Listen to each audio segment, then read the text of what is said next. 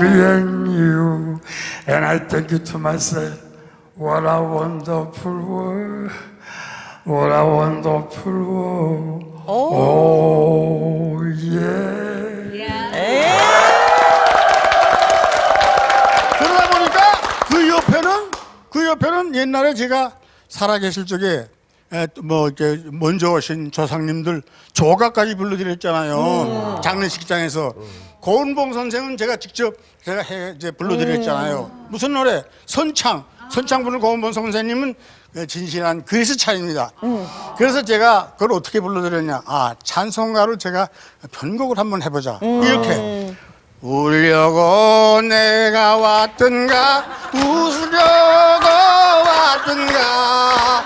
비린내 나는 부둣가에 이슬 맺은 백이로 아멘. 하늘나라 이 노래 들으시면서 하늘나라에 와 계시잖아요. 네. 그럼 현인 선배님은 어떻게 해드렸냐고요? 현인 선배님? 아 신라의 밤 불국사의 총소리가 들리온다 지나가는 나그네야 걸음을 멈추어라 시베벨 나의 밤 노래별을 아니 선생님 웃다 보니까 시간이 다 지나갔어요. 또 있는데요. 네, 예, 간단히 간단히 간단하게, 마무리만 네. 해주세요, 근데 선생님. 이웅관 선생님하고 박동진 선생님이 네. 청춘을 돌려달라고 서- 서로 잘한다고 서, 서민의 남도민은 어. 기 이웅관 선생님 예. 청춘을 돌려다오.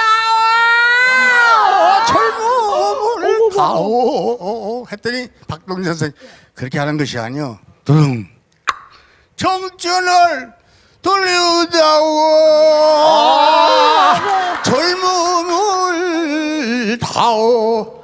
흐르는 내 인생의 애원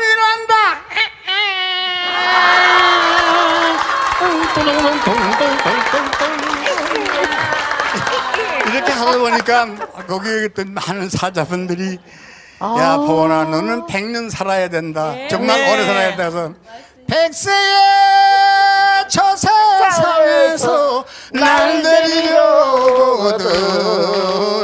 우리나라 통일. KBS